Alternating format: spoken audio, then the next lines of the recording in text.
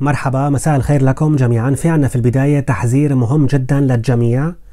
بحسب ما نشرت وسائل الإعلام الألمانية في بعض العيادات الطبية بألمانيا عم تفرض غرامة مالية على إلغاء المواعيد بشكل غير مبرر. بعض العيادات الطبية بألمانيا عم تفرض غرامة مالية وقدرها 40 يورو عند إلغاء المواعيد بدون وجود مبرر بدون سبب مقنع. في بعض الناس عم بتسبب مشاكل للعيادات يعني بتصلوا بياخذوا موعد وبعدين بيرجعوا بيلغوا الموعد وبيرجعوا بياخذوا موعد تاني وبعدين بيرجعوا بيلغوه قبل وقت قصير. فبالتالي البعض عم بيسببوا مشاكل وإزعاجات للعيادات الطبية بألمانيا. وزير الصحة الاتحادي كارل لاوتابخ متفهم لموقف العيادات ولكن بنفس الوقت هو ضد فرض غرامة مالية على المرضى.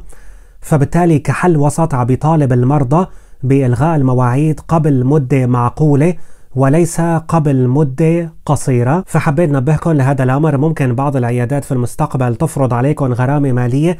في حال قمتوا بإلغاء الموعد قبل وقت قصير وبدون وجود مبرر. ننتقل لخبرنا الثاني بفيديو اليوم. انتهت البارحة قمة اللجوء بين أحزاب إشارة المرور الحكومة الاتحادية والمعارضة. حزب الاتحاد الديمقراطي المسيحي بدون نتائج. طلع زعيم المعارضة فريدريش ميرتس من الاجتماع غاضبا وتحدث عن فشل القمة وبأنه هن غير مستعدين مرة ثانية للتفاوض مع حكومة إشارة المرور واتهم حكومة إشارة المرور بأنها غير مستعدة للقيام بما يكفي للحد من الهجرة غير الشرعية زعيم المعارضة فريدريش ميرتس عم بيطالب بتجميد استقبال اللاجئين بألمانيا بشكل مؤقت يعني رفض استقبال جميع اللاجئين من على الحدود الألمانية وعم بيقول بأنه هذا الأمر ممكن قانونيا من خلال فرض حالة الطوارئ الوطنية ولكن حكومة إشارة المرور رفضت هذا المطلب فما بدها حكومة إشارة المرور تفرض حالة الطوارئ لأن هذا الشيء رح يؤدي إلى غضب واستياء في الدول الأوروبية الأخرى بحسب كلامهم.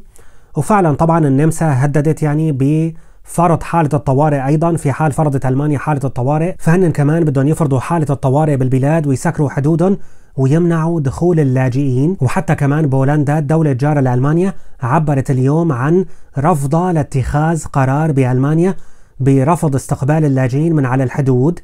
فبالتالي الدول الأوروبية غير متفقة مع ألمانيا بهذا القرار وعم بيهددوا ألمانيا بفرض غرامات تصل لمئات الملايين من اليورو. كما تم فعله مع المجر في مرحلة سابقة لما سكرت المجر حدودها ورفضت استقبال اللاجئين فتم معاقبته بمئات الملايين من اليورو من قبل الاتحاد الأوروبي. فعم ألمانيا عم بيهددوها بنفس هذا الأمر بأنه ما بيصير تفسروا القانون على كيفكم وتسكروا الحدود وخاصة أنه هذا الشيء رح يؤدي كمان لقيود كبيرة في منطقة الشنغن على حركة البضائع والشحن.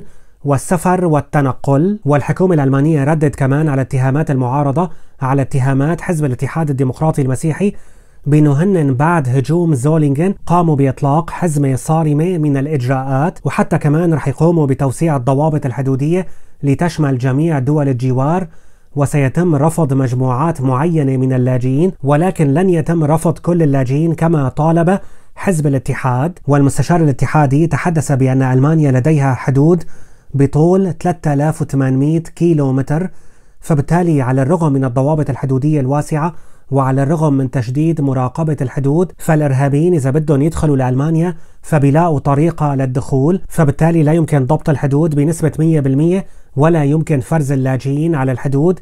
يعني ما بيقدروا يعرفوا مين إرهابي مين غير إرهابي. فهذا الأمر غير ممكن. فرز اللاجئين على الحدود هو أمر غير ممكن. فحبيت احطكم بصورة آخر التطورات يعني ما في نتائج ملموسة. لساتهم مختلفين. تم رفض حالة الطوارئ وبالتالي لن يتم رفض جميع اللاجئين من على الحدود ولكن سيتم توسيع الضوابط الحدودية ورفض مجموعات معينة فقط من اللاجئين. تحدثت عنهم في فيديوهات سابقة. فيكم ترجعوا لقبل بفيديوهين ثلاثة. تحدثت عن الموضوع بشكل تفصيلي. كان معكم إلهام بوزان. تبوا بخير وصحة وسلامة.